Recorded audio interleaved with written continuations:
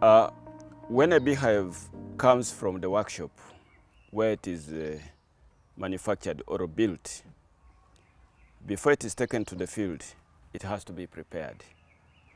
And in the preparations, there are several things that have to be done. The first one is to do the cleaning because the bees will not enter beehives which is dirty. Uh, they love themselves and they love smartness. So you have to clean the hive just like any house. Uh, before bride enters, you have to undertake a lot of a lot of renovations, painting, and all this. So the same thing we do to the beehive. Uh, we do the cleaning. After cleaning, you have to do the numbering because for purposes of records and management, you have to know which hive has what. So you must do the numbering. After that, you'll have to do the baiting. Now the baiting is applying beeswax either to the top bars or to the frames in order to attract the bees. So we'll start by taking you through the process of cleaning. So the first thing you do in cleaning is you remove the frames or the top bars from the hive.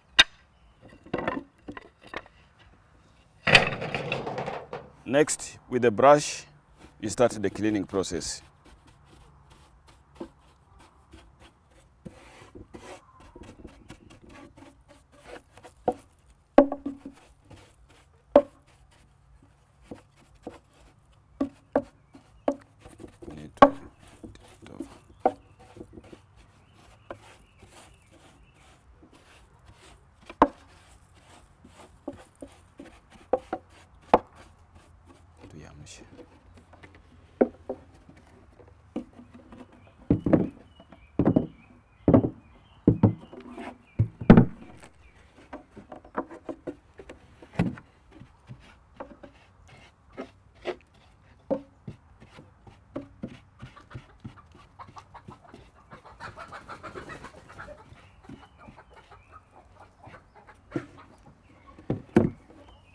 So whe- when the box is ready, the next thing is you look at the bars or the frames. If there's any dirt on them, you have to clear and make it clean.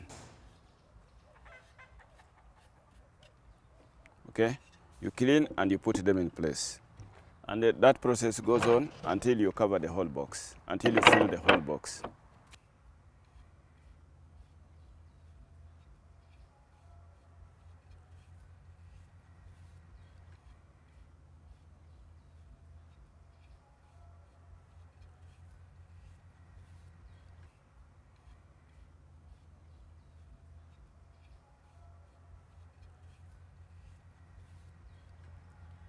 So the cleaning process goes on until you fill the whole box. Then that is done. The purpose of numbering is twofold. Number one, to identify ownership of the beehive. And you have to use paint to identify them.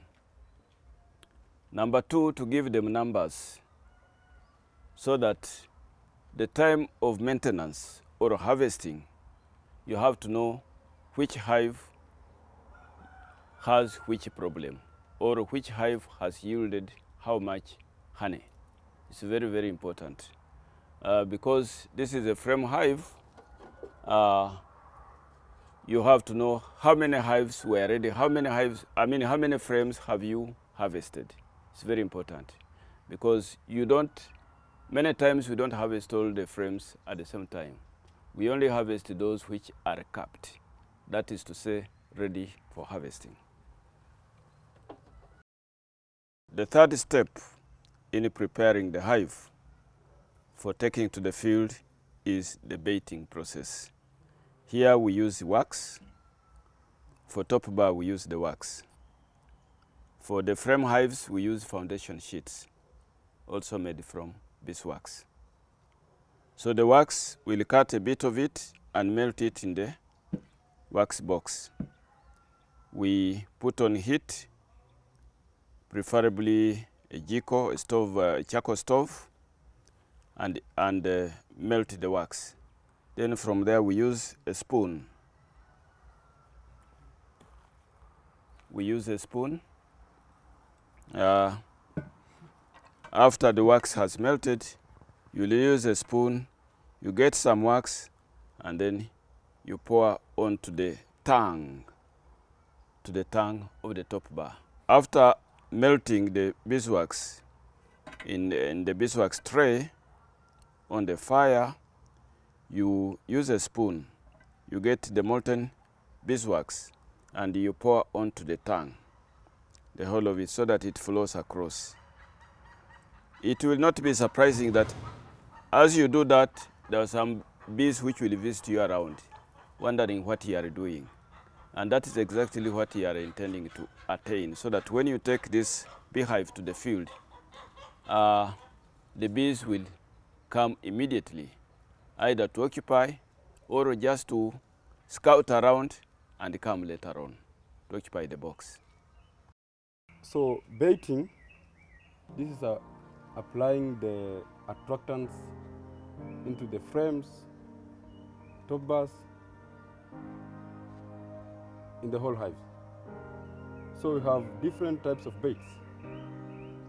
We have the beeswax, we have the lemongrass, we have the essential oils, and uh, we also have the natural attractants. Like some communities, they are using cow dung. We at the Wandabi, we are using beeswax to bait the Kenya Top Bar hive, and we are using the wax foundation sheets for baiting the frames.